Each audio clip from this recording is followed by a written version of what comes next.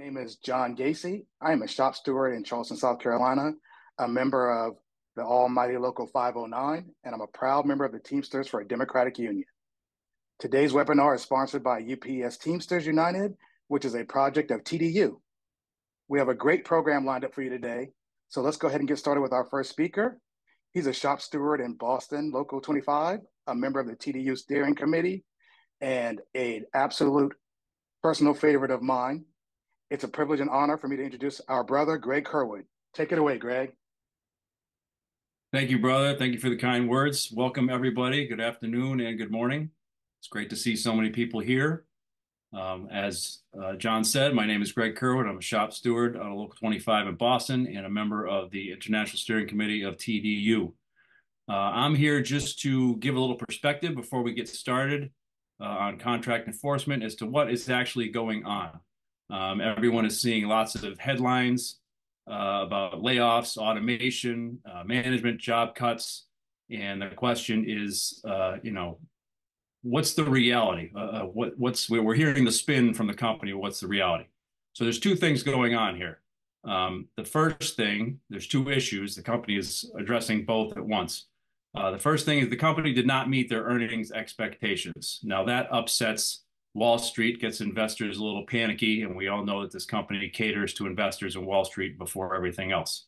Um, there was an explosion of volume during the pandemic, and obviously there was an inevitable pullback that was going to happen.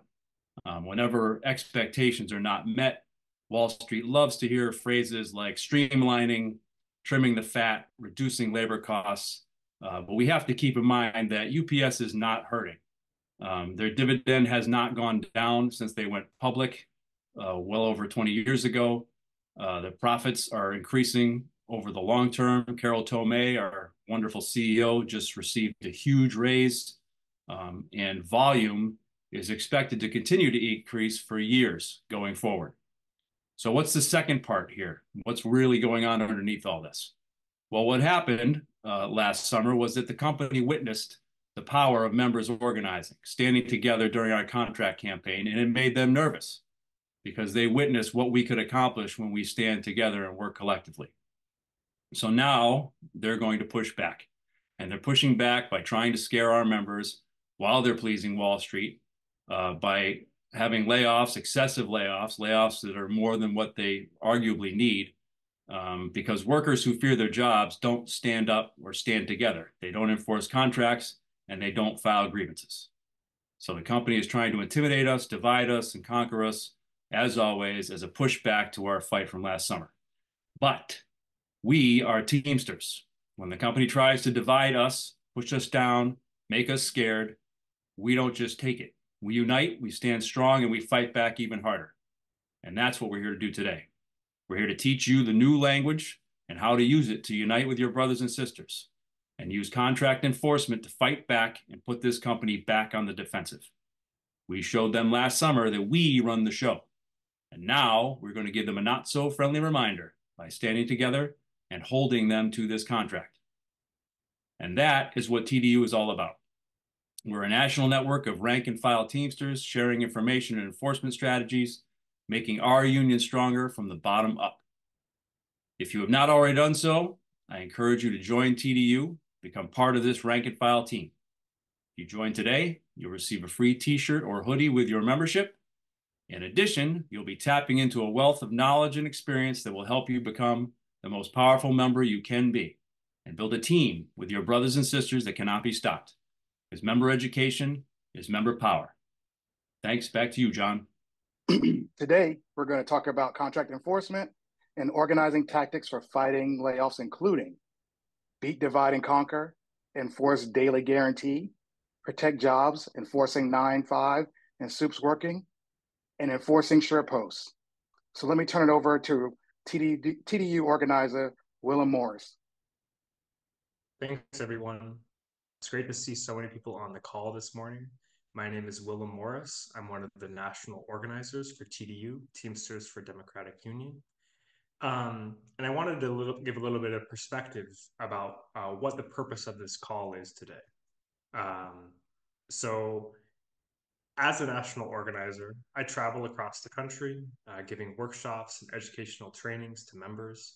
TDU has had these in person workshops. We've also had the online webinars, and the IBT has given great uh, training for contract enforcement.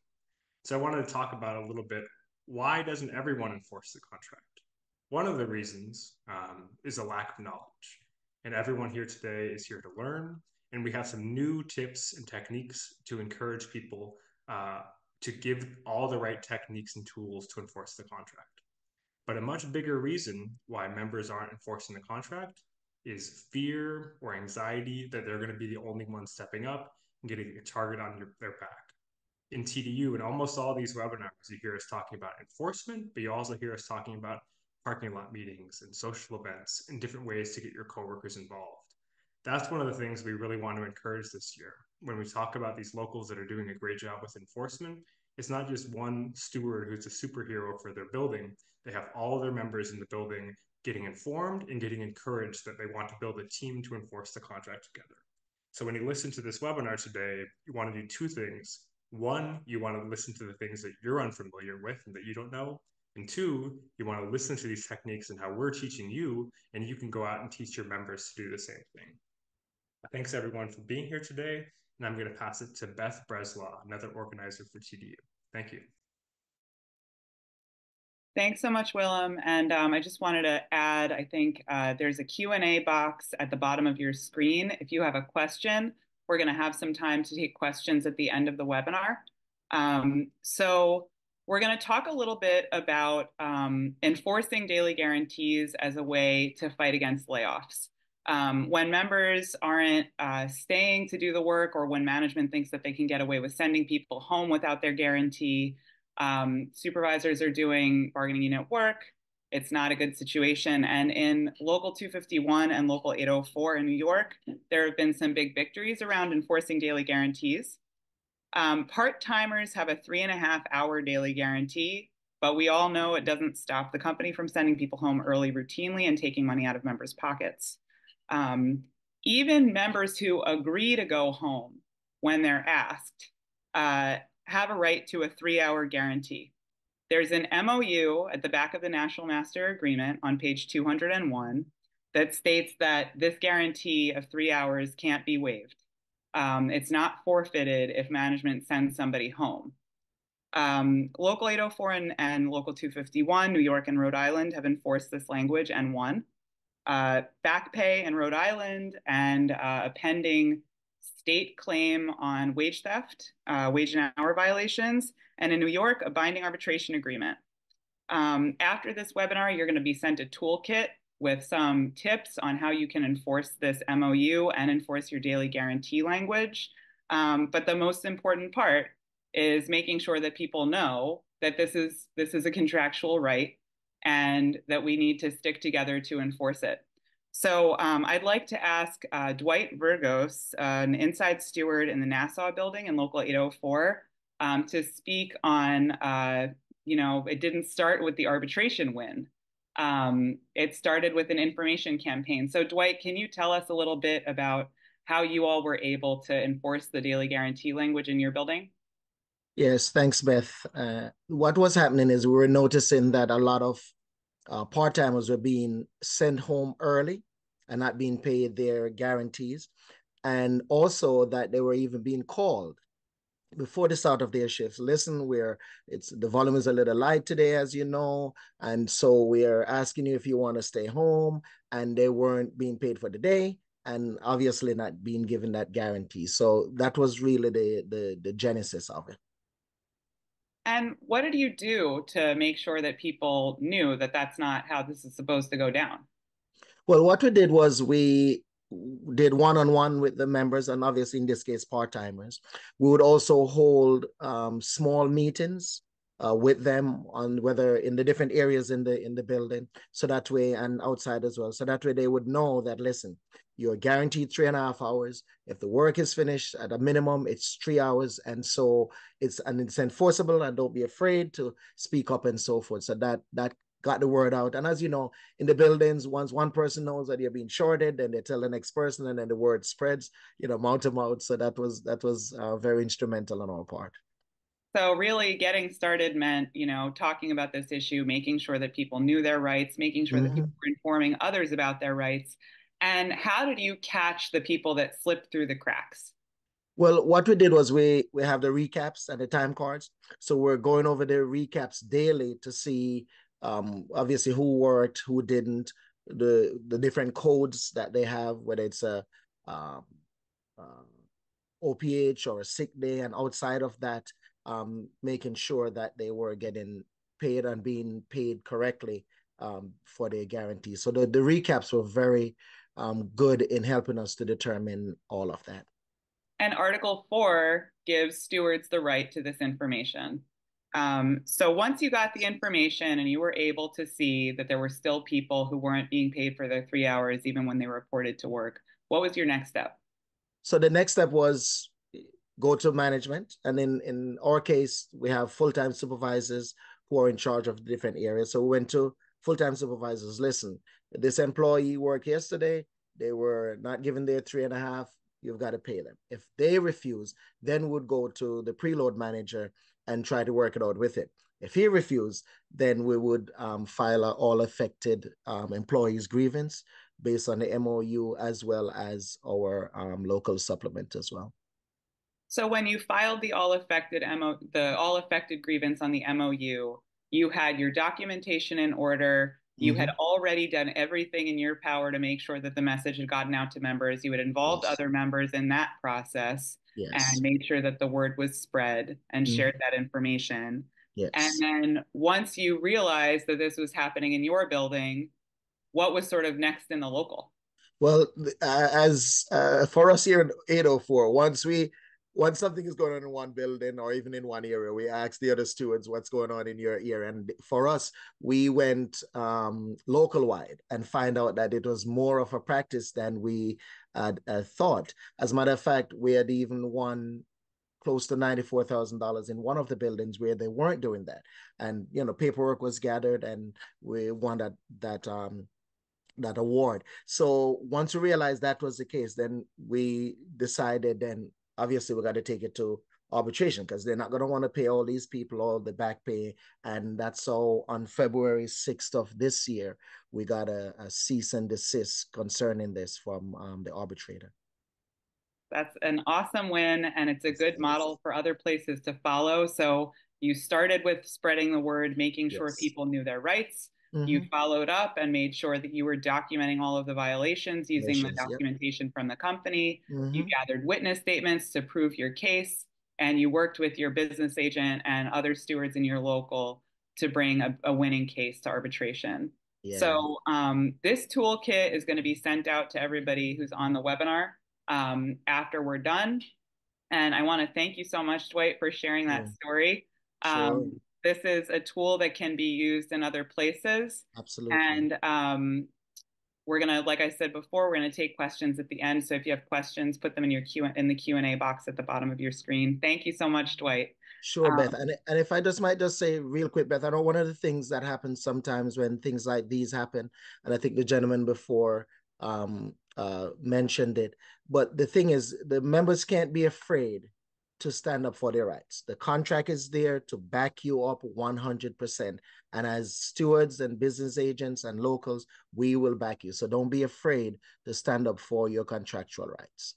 Thank you so much. Thank you, Dwight. And uh, that's actually a great segue to our next topic. A lot of uh, a lot of members experience fear of retaliation, and uh, it makes it a challenge, like Willem was saying, um, to stand up against layoffs by taking on excessive overtime and harassment. People are afraid of being singled out. Um, and we're going to hear about a few strategies that people have uh, in different areas for using eight hour requests in 9.5 language um, to fight back against layoffs and redistribute volume. And uh, the methods that people are using to get that information out and build more solidarity by leafleting and tabling and holding parking lot meetings. Um, so we're going to first talk a little bit about the eight hour request language. Um, this is a great tool uh, for protecting your day it's, and protecting your time. It's also can be used as a tool for fighting back against layoffs. Um, National contract language says that package car drivers have to provide three days of notice for an eight hour request and that the company is responsible for adjusting your dispatch before your start time. If you're going to be over and you know it, you notify the company by one o'clock and they're supposed to send somebody to take some volume off you. And the penalty pay has increased. So now if you're if you're violated on the day that you use your request, um, you're paid two hours at double time. Uh, some supplements have additional language on eight hour requests, so you should check your supplement. Um, the way that people typically use this language, or the way that a lot of people think about this language, is about really protecting your time individually. Um, you got to get to a kid's softball game, you have plans after work, um, and you want to make sure that you're not staying staying out way later than you expected. Um, but members in Local 443 uh, in Connecticut are using this language as a tool to fight layoffs. So we're going to hear from Josh Albright. Uh, he's a package car driver in Local 443 about um, some of the some of the ways that they've used this language uh, to organize in their loop and um, push back against layoffs. So, Josh. Yes, hi. Uh, I'm Josh Albright. I'm uh, a member of Local 443 out of New Haven, and I want to thank you very much for letting me speak today. Thank you. So, um, you guys do um, you guys do a good job of coordinating your eight-hour requests across yep. your loop. So, how do you start building better solidarity in your loop? Uh, well, it starts with the eight hour day request. Uh, what we do is, well, what UPS does actually is when you request an eight hour day, typically what they do is they will take the work off of you and they will pass it on to the driver, usually next in line in your loop or driver adjacent to you. So what we do is we, after we started noticing that, is that it just takes one person and uh, we try to get as many people in an area, in a loop, in a town to request an eight hour day all at the same time. And how do you start? Do you start with just you do it and you you make the request yourself and then you hope that other people do it too? Correct. Well, so, sort of. Um, it doesn't take everybody to be on board with what with this idea, but it just takes one person. And so it starts with just say you, and then you contact the person that's next to you, somebody who typically shares a work area with you, and you just tell them, hey, I'm going to take an eight hour day on such and such a day. And uh, UPS will probably just take the work off of me. They're going to dump it on you. You know, I really don't like that they do this to you. You should probably ask for an eight hour day too that day. And most people are willing to do that. And then you move on to the next guy and the next guy. And the more people that you have uh, uh doing this, uh, it kind of snowball, snowballs and picks up, and more people are willing to do it. That's right. And people also are less fearful about, you know, sticking their neck out when they know that they're not alone. That's correct. Yes. And what's the what's the result when you get the majority of people in your loop to use an 8-hour request on the same day? Well, it's kind of a win-win situation. Our goal ultimately is to get UPS to put more routes in. And if UPS decide they, for some reason not to, it's, you know, like you said, it's uh, uh, two hours at double time uh, for every driver that's willing to grieve that. That's right. So best case scenario, they put a route back in, and worst case scenario, it's extra money in people's pockets. That's correct. Yes. Thank you so much, Josh. Um, and organizing within your loop is also can be an effective strategy for uh, nine fives. Also, if everybody's yeah. on the list and everybody is filing, you know, the company has to put that volume somewhere it really only takes one or two people who are willing to stand up and just show other members that there's really nothing to be afraid of. You file those grievances, join the 9-5 list, uh, uh, ask for eight hour days. You're guaranteed to a month. And when you do get paid for these 9-5 grievances, and you will if you stand up uh, for your rights, walk around, show everybody, hey, I got paid. You know, help them uh, uh, you know, stand with them and help them sign the 9-5 list, contact your steward because the steward's supposed to run it in your building. So it, it just takes one or two people. That's all it takes. Show people that it's, there's nothing to be afraid of. Thank you so much, Josh. So that's a great example of starting small. You know, you have one or two people that are willing to do something together, talk to the other people in your loop about it, show people that they're not alone, and it's a pretty much guaranteed outcome. So we're going to um, talk a little bit now about the OJS language um, and how members are using the new OJS language to bring people together and make sure that members feel comfortable enforcing their, their contractual rights and see that they're not alone.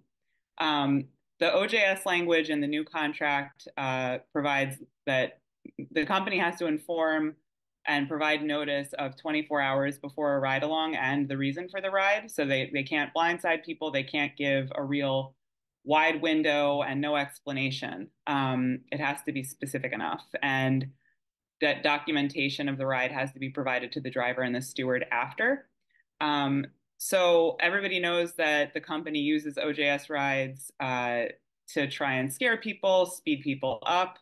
Um, we've had webinars about uh, hunting season and management by stress. We've had webinars about uh, just preparing for OJS rides and preparing members in your center for OJS rides because it's a good, it's a, it's a tact, it's an effective tactic the company uses to divide and conquer. Um, we're going to hear from John Gacy uh, on how members in his building took this opportunity, the OJS opportunity, um, to bring people together and build more solidarity. Um, so, John, maybe you can tell us a little bit about what was going on in your building before your pre-shift meeting. Yeah, thank you, Beth. Uh, so we immediately saw an increase in harassment, intimidation, and a ton of OJS rides without, as you stated, any notice. Um, and it was clear we needed to do something. So uh, we, in order to build solidarity amongst our siblings, we decided to have a parking lot meeting on the inside of the building to educate members. And what we did is we sent out a mass text 72 to and 48 hours prior to the meetings. Uh, the day before, after the PCM, one of our stewards would yell out, uh, you know, uh, union meeting tomorrow. And then we would do another text message that following morning, the morning of the PCM, because we know people have a million things on their mind. Uh, so we wanted to make sure that uh, we reminded folks. Um, and so what we would do is um, at the meeting, we would talk about the uh, OJS toolkit and uh, rights that the members had. We also would explain to them that um, you know the contract is really nothing more than a stack of papers unless you enforce it, and how important that is. We also asked for commitments uh, by a show of hands um, on enforcing the contract, and also uh, just to hold each other accountable and uh, protect each other. So since that time, we've seen a difference. We've seen a shift in the members. You know, folks are talking more about their rides and the toolkits and how much it's benefited them. Um, and also, um, we're seeing folks uh, talk to each other and come to us as stewards and with questions and, on what they should do and uh, also how they're seeing the shift in like work like if you're if the supervisor's on a uh, truck with you that one day then the next day the work is much more that day it's a lot less so um, just uh, keeping a record. Uh, we're seeing folks do that more, and also we're seeing um, management's going to be management, but we have seen a shift in how they're handling the rides, um, and we hope we hope to see more because they understand that as members we are ready to enforce the contract. Thank you so much, Sean. So just the small act of bringing people together and literally showing people that this is a universal experience uh, they were able to see um, progress in the way that management was treating people, and also drivers were apply, you know, using these tools and applying these tools to their day to day, monitoring what's wrong with their what's wrong with their loads, making sure that they're working at a safer and sustainable pace. Um, and understanding and recognizing that these are problems we're all having and we need to be talking about them with each other so that nobody's feeling totally alone. Um, so thanks again, John. Um, I'm going to turn it back over to Willem, uh, and he's going to take us on to our next portion of the agenda. Thanks, Beth. Uh, next up, we're going to talk about supervisors working. And I'm going to talk with Tina Young, a steward out of Local 20 in the Maumee building near Toledo, Ohio. Um, when members are laid off, there are no supervisors that should be working all of us know that, um, but we have to take the necessary steps to start enforcing this language. Uh, Tina is a new steward uh, who became a steward in the past year, Uh, she came to TDU convention and then has been putting these practices into play in her building.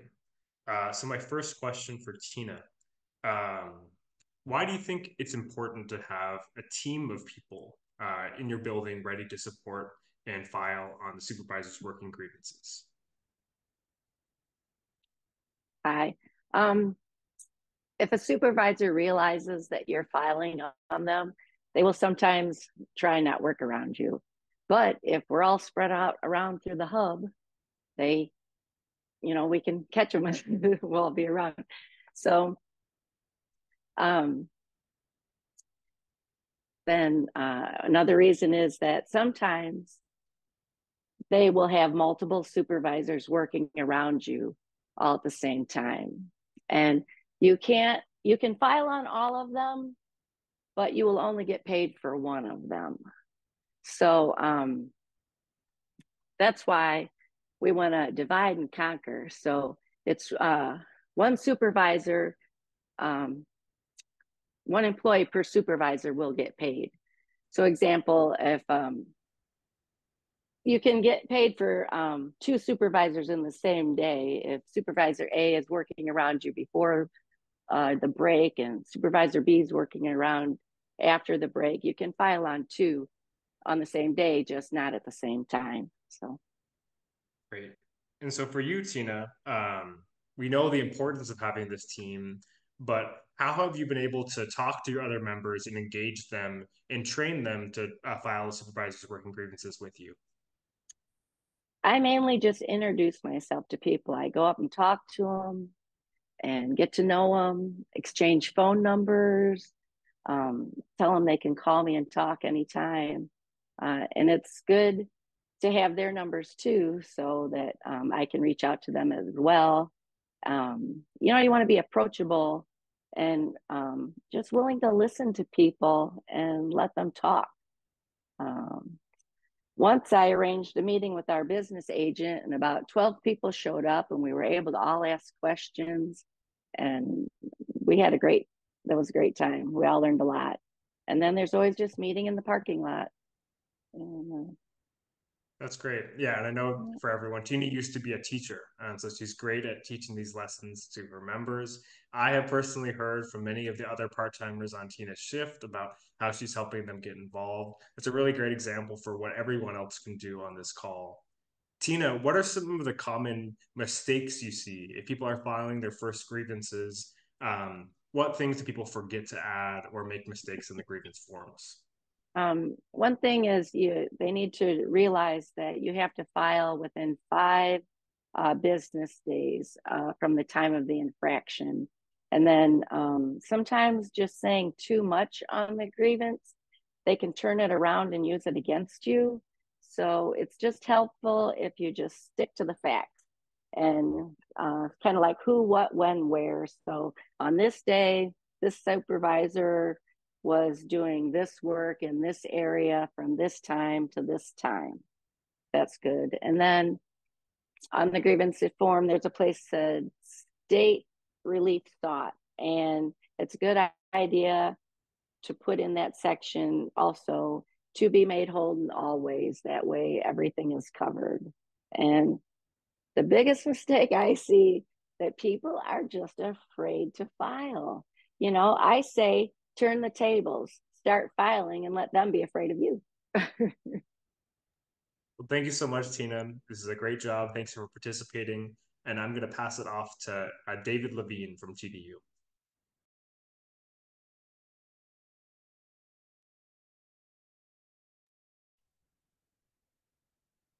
Okay, hi. Uh, I'm here to talk about uh, SurePost.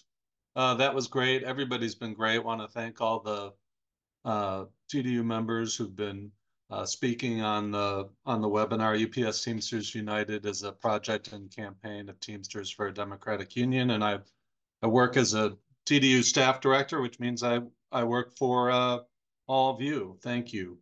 Um, so on SurePost, we want stronger uh, language in the contract to reduce the amount of SurePost packages that go to uh, the post office and strengthen um, our rights and increase the volume of SurePost packages that should be that are redirected back to Teamsters um, to package car drivers for delivery. So the place to look uh, for this language is Article 26, uh, Section 4, and let's get into a couple of details on it, starting with the next slide.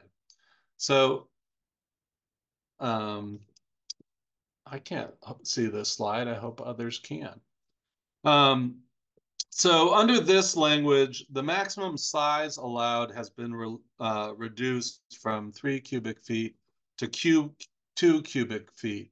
That's uh, 3,456 uh, cubic inches, which is like, you know, unless you're some kind of uh, human calculator, that might not be obvious to you. It's not to me what that is. But so just by way of uh, a guide, like you can picture like a typical countertop microwave, um, that uh, exceeds, uh, that would be oversized for something going to SurePost. The same goes for uh, a golf bag. Uh, that would be oversized um, and exceed the limit. The maximum weight limit is 10 pounds, and it's not the 10 pounds that the customer claims it weighs, but actual weight of 10 pounds as on the scale. Okay, if we can go to the next slide, we can take a look at some of the additional um, protections and rights that we have. So um, close proximity, you know, the company is supposed to redirect SurePost packages for delivery by package car drivers if the delivery address is within a close proximity of an address where a package car where a package driver delivers. Uh, and close proximity is defined as like 100 feet. Um, we all know like SurePost packages are only supposed to be delivered to residential addresses, no businesses. In terms of right to redirect packages, UPS is required to make employees aware of their right, these restrictions and their right to redirect packages so that they're delivered by Teamsters. And management can't, um, it explicitly says in the language, uh, management can't discipline members for redirecting a package under this under this language. So this is good, strong language, but we also know that UPS is violating it every day and sending packages to the post office while Teamster drivers are laid off.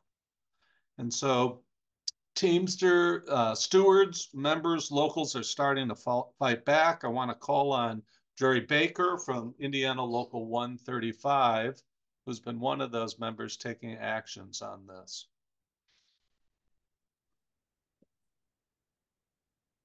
Hello, uh, my name's Jerry. You got you got me on there?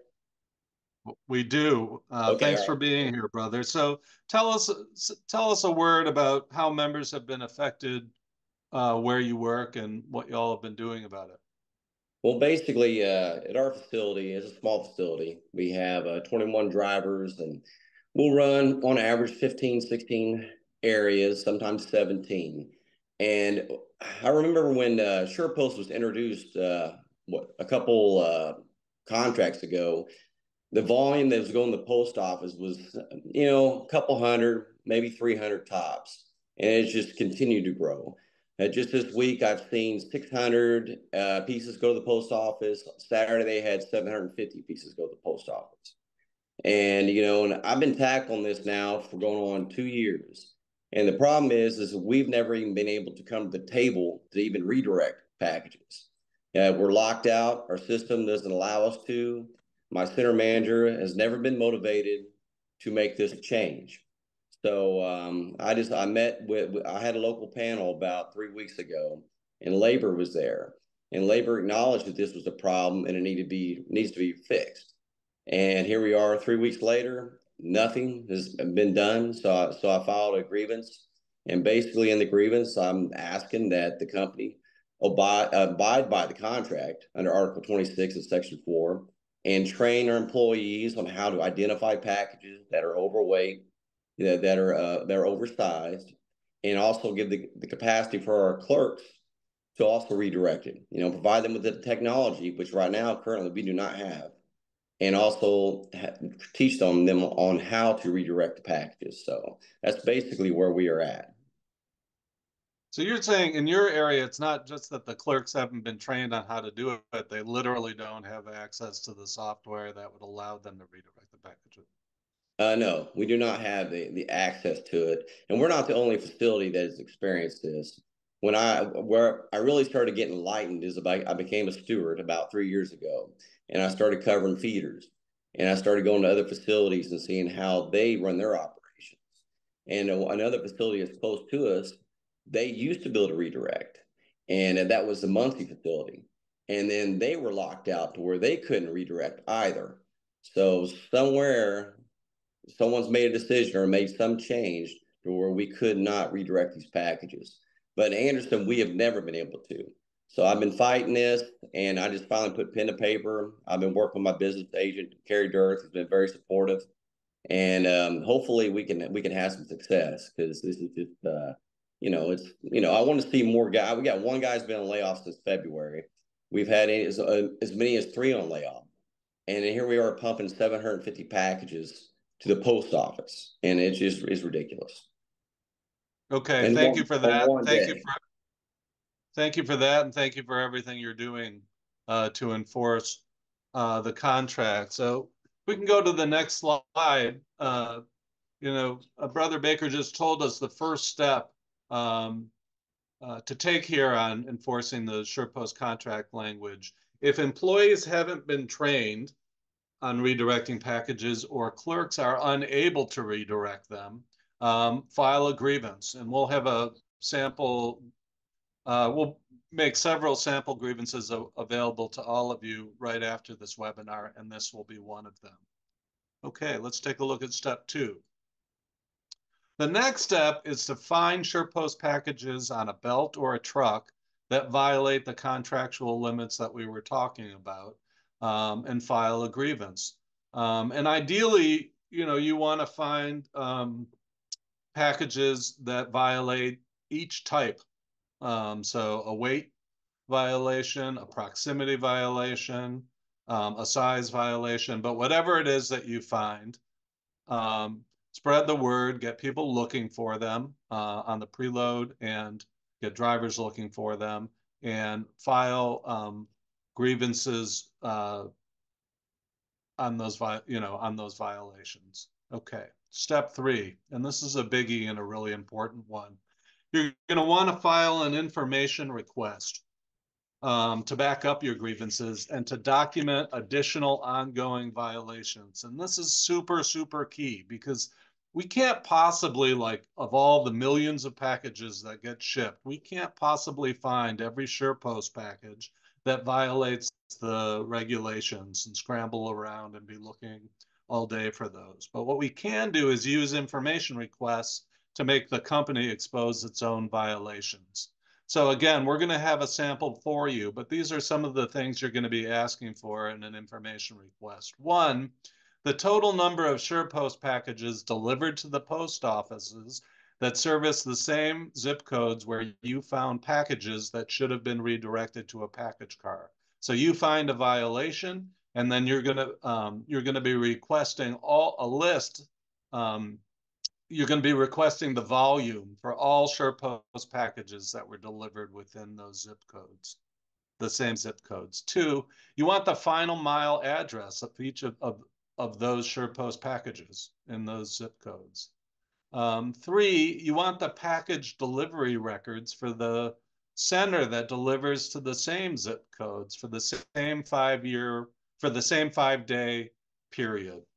Um, and you also want packages uh, that were actually redirected um, by UPS that were SurePost packages during the same five day period. And importantly, down here, you see that cute little hand. You want to ask for this information in electronic format, and that is also key. And here's why.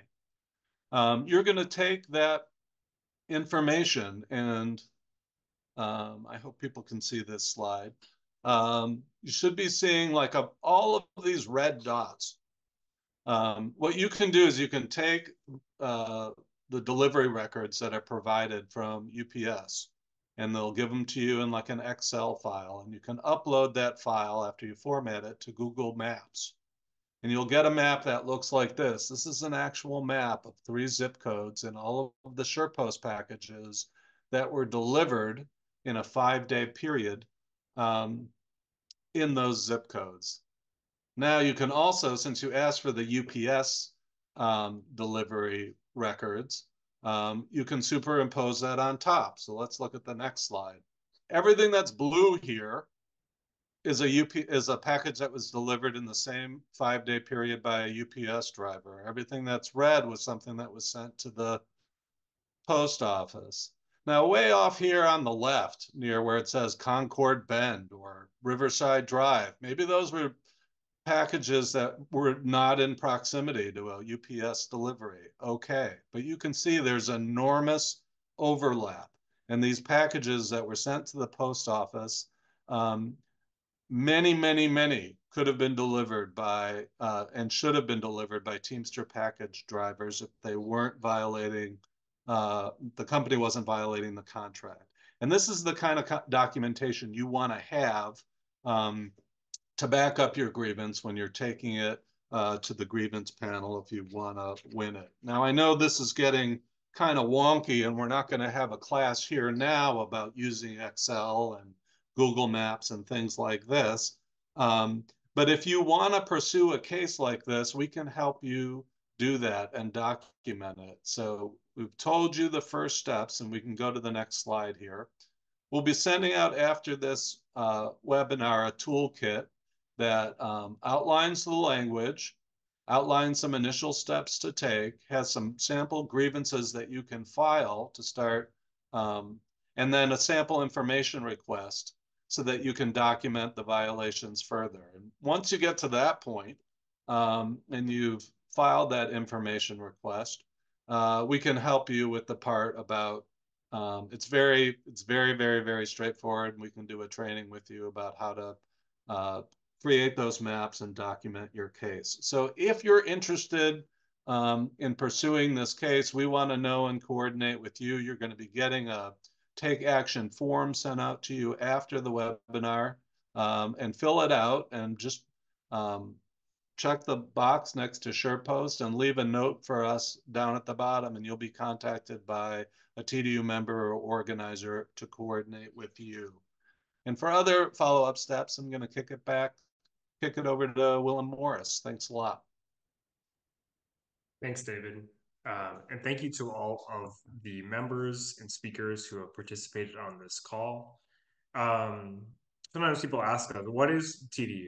And TDU is an educational resource, but TDU is also Greg Kerwood, John Gacy, and Tina, and all the speakers today. TDU is a network of activists who want to enforce the contract and help each other do that. So in my region that I cover in the Midwest and Central region, there are networks of shop stewards with 50 or 60 people meeting every month talking about enforcement. So if you want to get involved, fill out this take action form, reach out to us, and we can connect with other people who are excited about the same kind of stuff as you. Um, every building is different, um, and we want to be able to talk with people one on one. So, this follow up form allows us to answer your specific questions and give you the tools you need to enforce the contract. Finally, uh, I want to pass it uh, to John Gacy to wrap up everything on this webinar, and then he's going to push us to a Q&A, and we're going to answer these some of these 52 questions that have been put in the Q&A box. Thanks, John. Thank you, Willem. As Willem said, we're about to open up the Q&A. If you have any questions, use the Q&A button on the button on your screen to type the questions. We'll take as many questions as we can. but before we do that, UPS Teamster United is a campaign of TDU. We're a grassroots network of rank and file Teamsters sharing resources and strategies to stand up to management and build a stronger union. I personally joined, um, to be candid, because I was in a really bad place. Um, I was uh, disqualified from driving. After about two weeks, management called me in the office and said, Hey, you know, we just don't think you're a good fit for this. And uh, we're going to disqualify you. And hey, I heard it was your birthday. Happy birthday. And that's a true story. So that was a brutal day for me. Um, and I swore to myself that I would never allow my union siblings or anyone to go through that. So fast forward, uh, my wife says to me one day, "Hey, have you heard of TDU?" And I was like, "No, I haven't." So from that day, um, it's been a fantastic marriage. Uh, TDU has given me confidence, uh, empowerment to educate myself and my union, my union siblings, also to stand toe to toe with management. So I'm saying today, I sincerely encourage you to join. If you're not a member, please be a part of it. Join, get in touch, get involved. And with that, I'm going to turn it back over to my brother Willem for questions and answers, Q&A. Great. And again, uh, please direct your questions down to the Q&A box. We have so many questions. We're not going to get into all of them, uh, but we're going to get to as many as we can. The first question um, is about the three-hour guarantee. Uh, if a supervisor asks you to leave and you refuse to leave until you get your three hours, what do you do if they say they will fire you if you don't leave? Um, you cannot refuse to leave the building if you're asked to leave the building. Um, what you need to do is grab yourself a witness, a fellow member, or your steward, uh, so that you have a witness that lets them know, lets them uh, testify that the supervisor is telling you you have to go home, and then you file the grievance. But you do not want to refuse to leave the property if you're instructed to leave the property. You you do as instructed and grieve later. The last thing you want is the company charging you with insubordination or calling the police or some other uh, crazy scheme to get you in deep trouble. Uh, okay. And Greg, what about uh, this person said that on Mondays, uh, their part time shift is only two hours or less. Uh, can they still enforce the three and a half hour guarantee? Yes. Under Article 22, Section 5, you have a three and a half hour guarantee every day. So if you're not getting it, doesn't matter. It's Monday, Wednesday, Saturday, you report as scheduled, you're entitled to three and a half hours. So file the grievance. If it's everybody, file all affected for everybody on the shift and make sure everybody gets paid. And William, this is Dwight. I'll just add to that as well. It can be the three and a half hours work or three and a half hours pay. So the company can make their choice. Great. Thank you guys both. Uh, then we have some other questions uh, for drivers about the OJS rides. If a driver doesn't receive a 24 hour notice for an OJS ride, can they prevent the ride from occurring? You always have to work as instructed, but you should definitely file a grievance after the fact. That's correct. You can't you cannot refuse if they want to get on the car. You file the grievance. Inform your steward, let them know, and file the grievance. And uh, John, I think you had a good example for this. Uh, one of the best uh, tools to combat this kind of thing is providing all your members with information. If the company sees that all the members know their rights or parking lot meeting, uh, they're less likely to try to violate it is that kind of what happened for you guys in your local, John? Yeah, that's absolutely correct. Um, it's uh, definitely once they, like as you stated, once they see that all the members are together, um, you'll start to see their tune change. But um, you know, it's definitely about enforcing that contract and members standing strong and together. Great, thank you, John. The next question. Um, uh, is Josh Albrecht still on the call? How do you find out how many drivers at a time can take an eight hour day? I've been told before that too many were requested for a particular day to accommodate my requests. Uh, in our building, it's 10% of the works, a minimum 10% of the work staff. So if you say hypothetically have 95 drivers on the road that day, is um, it's not going to be nine and a half drivers, it's going to be a full 10. Great. And you can find that in the contract language, Josh? Correct. Yeah. Yep. Okay. Um, next question. Um, another one for you, Josh. Uh, what what to do if the company refuses an eight-hour request? Is there recourse or a penalty if the company refuses an eight-hour request?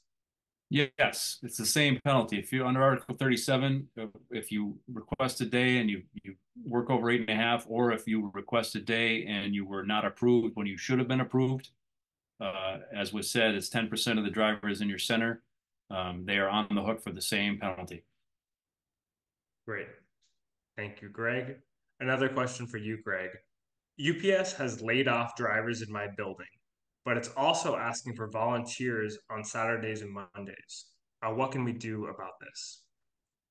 That's a, a great question. And uh, the only answer is to organize those members that are volunteering on on Saturdays and Mondays, uh, and inform them that they're playing into the company's hands, giving the company what it wants, and costing their brothers and sisters that are on layoff. Um, if no one is willing to volunteer, the company will have no choice but to bring people back to cover those shifts and do that work. So as much as you may want to uh, line your pocket a little bit with extra work, uh, it is much better for everybody, uh, especially if you're working late the rest of the days because you're swamped with overtime because people are laid off. Uh, the way you address that is to not volunteer for the extra work and force the company to bring people back. Great. Um, thank you very much, Greg. I have some questions for David Levine, the staff director for TDU, about SurePost. Um, David, could I call you on to talk about how can I enforce SurePost if my BA has not yet provided instructions or guidance? Yeah, it looks like there's a whole bunch of questions on this. Maybe I'll just grab them and deal with them uh, rapid fire style. So in terms of how can you do it if your BA hasn't provided instructions or guidance, um, well, you you know we're sending out a toolkit with instructions and guidance, and you can start you can start there uh, and working on those, and then talk with your with your BA about it. I think that the IBT contract enforcement campaign is also soon going to be issuing um, more info and guidance on this stuff. But uh, everything that we talked about here is uh, are the steps that you can start taking to enforce the contract. A person asked if um, on preload we catch mislabeled packages that say five pounds but weigh 55 pounds. Um, wow, that's really stretching uh, the limit. Management refuses to audit the package and just sends them on. This is where you your right to like redirect um, comes in. So you can ID a package, say this clearly weighs more than five pounds, um, ask for a scale, or in this case, it's 55 pounds. It's going to be common, common sense. If they won't, um, if they won't redirect the package, that's where you're going to file that grievance. And we provide, we're sending you a sample grievance that says management is sending packages to the uh, post office that should be redirected for delivery by by a Teamster package car driver, and that's a that also is going to trigger your right to do an information request um, to all the packages that are bound for that zip code. So just take down the details of what happened, who, what, where, when. Uh, if you have a, you know, make sure you have a witness and then file the grievance. Um, when we redirect a SurePost package, our clerks have no idea how to do it. Should the soups be showing them how, or what should we do? Yes, the soup soup should be showing them how, but if they don't, this is grievance number one, the one the one that um, uh, our brother from Local 135 had filed. So we'll send you out a sample grievance on this, uh, file it right away, and get um, and demand that training. Um, can you put an oversized, overweight SurePost that's addressed to a PO box on hold that should be delivered by our UPS driver? I don't know that you could put it on hold, but you could flag it as something that should be redirected. And if the company doesn't redirect it, um, you could file a grievance. Um, if we, here's uh, a couple more. If we only have five days from the incident to file a grievance, how long does a management have to honor an information request? Um, if we are to gather documented evidence to support the violation, file the grievance within five days. As soon as it happens, file the grievance. Then file the information request. Management um, may stall on providing the information, but it doesn't, that won't affect the timeliness of your upcoming grievances. And it's, uh, you'll be okay on that. It's within five days of your knowledge of the violation once we get the additional information? That's a good question. Can part-time preloaders also grieve SurePost violations? Yes. Um, can I file a grievance for SurePost packages that are in my center but in another driver's area? Yes. Um, so uh, yeah, hope I, I tried to cover as many as I could fast. It sounds like there's interest in filing these grievances, and I'm glad we're here to help you uh, we got to get uh, Teamsters back to work.